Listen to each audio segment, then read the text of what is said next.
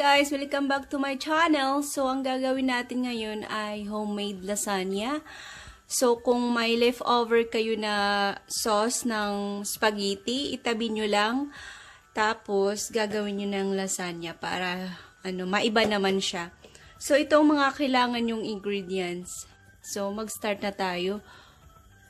So, habang i-mix natin yung cheese, Um, nagpakulo na ako ng tubig kasi para sa noodles mamaya. So, tara, i-mix na natin yung cheese. So, ngayon, um, i-mix na natin yung cheese.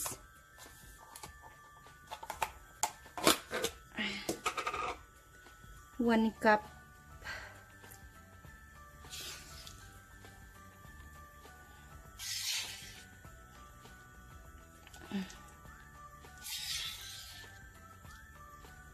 Okay na yan.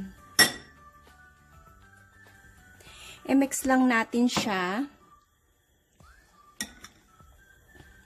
Kasi para naman ano, maiba naman yung atin sauce ng spaghetti. Pagat hindi pa siya talaga ubos. Kung konti na lang natira yung ano, yung sauce ng spaghetti, pwede nyo naman ano, lagyan na lang ng um, tomato sauce. Ganyan. Okay na yan siya. Tapos, lagyan na lang ng ano, kunting asin ng salt. Kasi, huwag naman masyado kasi nakatimpla na rin yun eh. Mix lang natin siya. So, ngayon, um, kumukulo na yung tubig natin. Ilalagay na natin at yung noodles natin. So, kasi tatlong layer ang gagawin ko. So, anim, ano siya, um, 9 pieces na noodles. Kasi may iba naman na noodles na direkta na lang na hindi mo na kailangan pakuluan. Ito kasi, pinapakuluan ko pa. So, ayan. Tapos, nilagyan ko rin yung tubig ng, ano, ng oil. So, pakuluan natin siya ng mga, ano, 8 minutes. Kaya nilagyan ko siya ng oil kasi para hindi siya magdikit-dikit yung noodles mamaya. Pagkat naluto yan. So, ayan. Antayin lang natin to na maluto. Tapos, kailangan titingnan mo talaga yung noodles mo kasi para hindi talaga siya manikit. Kahit sabihin mo man, nilagyan mo ng oil, yung tubig. Kasi minsan pa rin, dumidikit pa rin siya. Kailangan mo paghiwalayin para maluto siya. Hindi naman talagang lutong-luto siya kasi ibibake pa natin to mamaya. So, ngayon, tapos na ito, i-ano na natin siya, i-drain na natin. Patay na natin yung apoy. Tanggalin na natin yung tubig.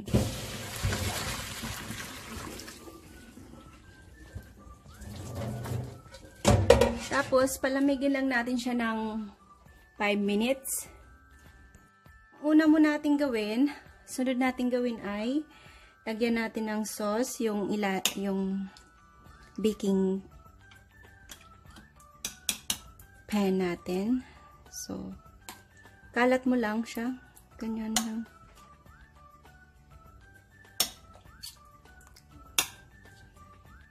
Basta ano lang, kalat-kalat lang ganyan. Tapos, lagay mo yung noodles. Ganyan.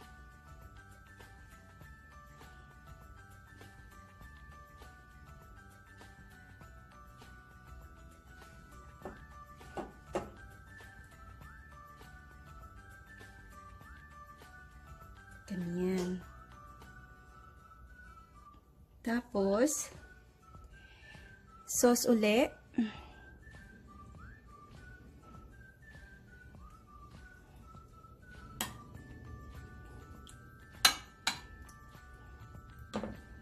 Kalat mo lang siya.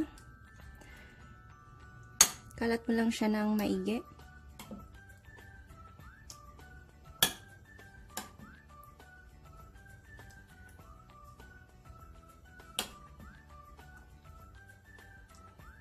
Ganyan. Tapos, yung atin cheese. Yung mix natin kanina na cheese. Kalat mo lang din siya.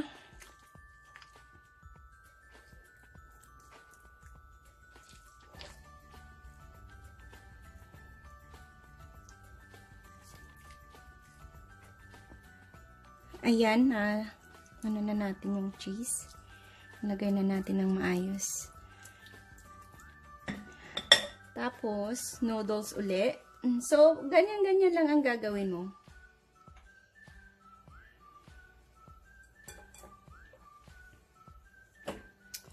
So, pangalawang layer na to.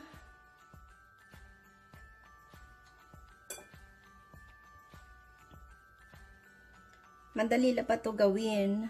Tapos, yung sauce natin.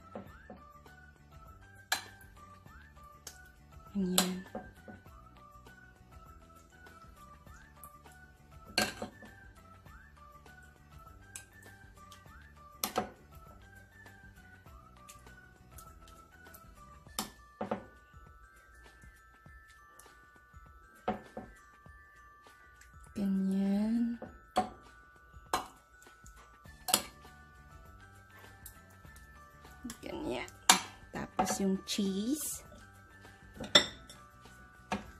So, ganyan lang ang gagawin mo. Tapos ngayon, so, nalagay na natin yung na-mix natin na ah, cheese. So, lalagyan pa natin siya ng topping ng hiwalay na cheese ng ganito. One cup. So, para cheesy talaga siya.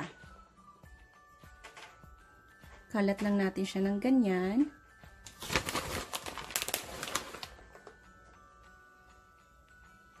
Kalat-kalat mo lang siya. Para cheesy talaga yung ano mo, yung lasagna mo. Masarap kasi siya pagkat maraming cheese. Kailangan hindi ka matipid ng cheese sa ano mo, sa lasagna mo. So, yan. Tapos naman ngayon, ah, tatakpan natin siya para um, pag-bake natin, hindi siya masunog yung cheese kaagad. So, i-bake natin siya ng 400 degrees, 450 degrees, tapos, i-bake natin siya ng 12 minutes. Pag natapos na yung 12 minutes mo, tanggalin mo yung cover, tapos ibalik mo siya uli sa oven ng 5 minutes, ganyan. So, luto na yan. Ngayon, tanggalin na natin yung cover. Mainit. Ingat lang. See, yan ang sinasabi ko para hindi maano kagad yung cheese. So, ngayon, ibabalik natin siya. Okay guys, luto na to. So, thank you for watching. Don't forget to like and subscribe. Dinner namin.